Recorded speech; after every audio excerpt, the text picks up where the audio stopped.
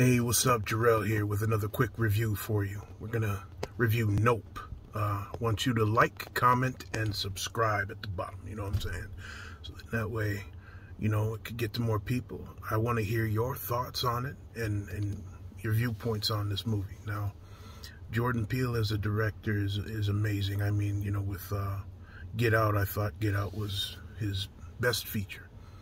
Um, as far as... Uh, Nope. Uh, it's a nope from me.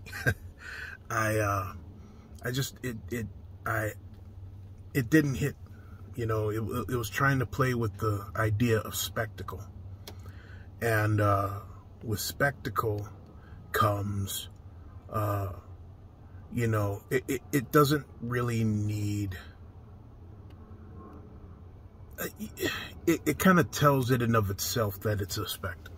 You know what I'm saying? I I, didn't care for for it too heavy. I, you know, Daniel Kaluuya was really quiet in this one. You know, buddy of mine said that it was a very easy paycheck for old dude because he, you know, old dude was barely acting. It's like he had a couple lines and things and shrugs.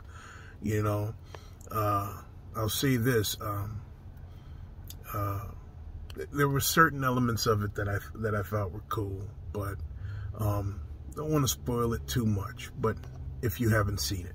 But at the same time, I just it didn't it didn't it didn't move me, man. I, am and, and I hate being disappointed on a Jordan Peele movie because that dude, you know, definitely has a vision.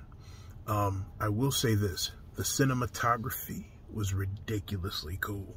Like the night scenes, I'm, I'm kind of a little envious about. It's like, you know, this filmmaking stuff takes off. It's like, I'll take notes from this movie from the nighttime because beautiful shots at night aren't always like the greatest thing you'll see in movies, but he hammered the nail on the look.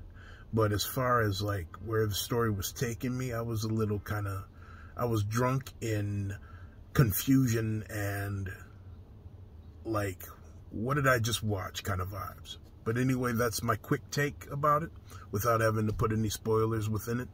Um, maybe uh, my next review will be a spoiler one with a buddy of mine that really wants to dive deep into that shit. anyway, get at me, like, comment, and subscribe. All right, peace. I'm out.